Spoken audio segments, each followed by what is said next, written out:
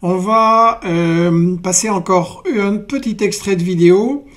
Euh, là, il parle des relations entre la population locale et l'armée ukrainienne И как э, было отношение с ними до, до операции Никаких России? отношений не было вообще абсолютно. Мы их не видели. И они относились к людям очень плохо. Да? Э, ну, помощи никакой.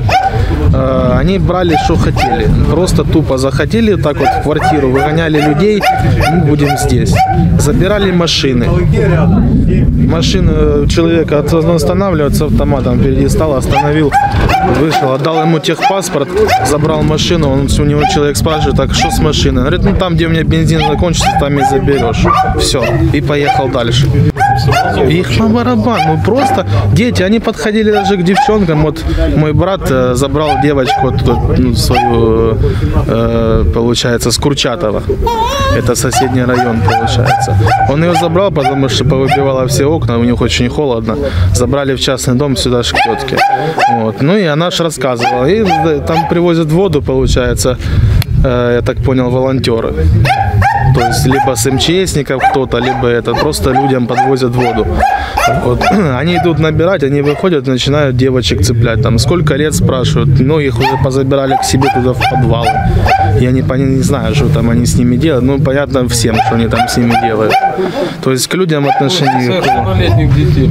Спрашивают, да, сколько тебе лет? Она говорит, 17. Вот. И хорошо пришел там ее отчим, он ее успел забрать оттуда. Так бы они ее туда и забрали к себе, чем-нибудь заманили и все. Voilà.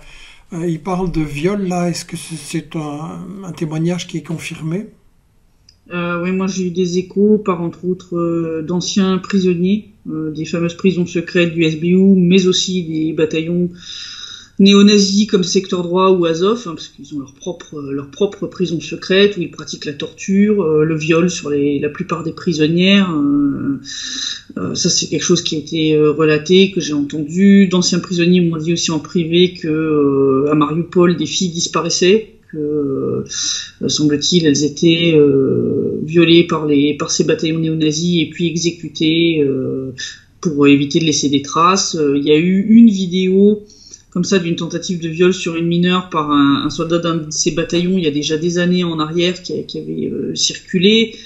Euh, le bataillon Tornado, ils filmaient carrément leurs scènes de torture, les, les scènes de viol, euh, tout était dans leur téléphone. Euh, ces gens-là avaient fini quand même par être arrêtés parce que ça faisait vraiment trop scandale, même en Ukraine. Euh, et euh, d'ailleurs, ces gens-là ont fait partie de ceux qui ont été libérés par Zelensky pour aller euh, combattre euh, l'armée russe. Ils ont libéré des... On a libéré les criminels. Alors, Ouais. euh, vous avez parlé de, de prison privée, en quelque sorte, secrète. Euh, Estelle demande euh, quoi, quid sur le SBU, la police politique ukrainienne? Alors ils ont euh, une prison qui justement se trouvait dans le sous-sol de l'aéroport de Mariupol, aéroport qui est maintenant sous notre contrôle, sous contrôle de l'armée russe et de la, milice populaire de la RPD. Donc bon, une fois que les combats se seront éloignés de cette zone-là, on va pouvoir commencer à enquêter puisque on a des témoignages de nombreux anciens prisonniers qui étaient là-bas, dont une jeune femme qui avait été interviewée par NTV, qui avait raconté comment elle avait été euh, torturée, euh, violée à la chaîne pendant plusieurs jours, euh, pour lui faire avouer le, meurtre d'un colonel, je crois justement d'un du SBU qui s'était fait assassiner. Euh, bon, après des traitements pareils, vous avouez n'importe quoi. Euh, donc le SBU aussi utilise ces, ces- ces méthodes-là. Je veux dire, euh, il y a de très nombreux témoignages euh, de l'utilisation de la torture par le SBU dans des prisons euh, comme celle de l'aéroport de Mariupol. Euh, il y en a une à Kramatorsk aussi. Donc ça aussi, euh, va y avoir des, des choses à, à découvrir là-bas.